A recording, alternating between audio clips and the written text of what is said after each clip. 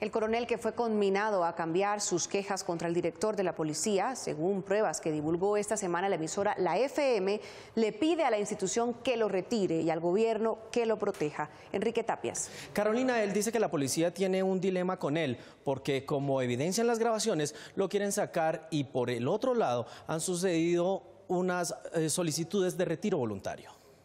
Luego de hacer públicas las presiones de tres oficiales para que se retractara de la denuncia por presunto acoso sexual contra el general Palomino, el coronel Reinaldo Gómez pidió al presidente y al ministro de Defensa revisar su caso y tener en cuenta su seguridad. Tengo amenazas de muerte, la misma institución teniendo eh, todo ese andamiaje institucional eh, no ha definido el tema de mi seguridad.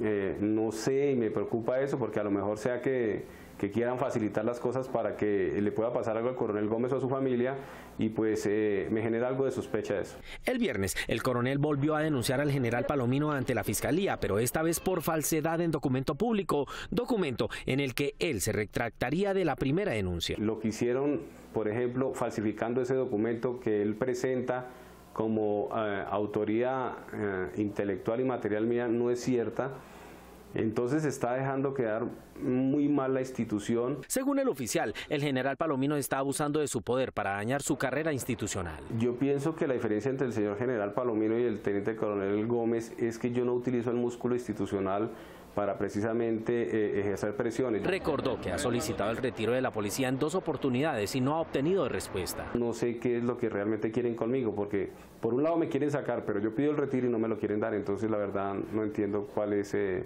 eh, las intenciones que tienen conmigo. Él quiere que se tramite con diligencia su solicitud de retiro. Yo prefiero eh, irme de la institución siendo un excelente teniente coronel y no un general mediocre. Aseguró que los dos coroneles y un mayor que trataron de hacerlo retractar de sus denuncias le hacían un favor al general Rodolfo Palomino, quien los habría enviado para hacer el encargo.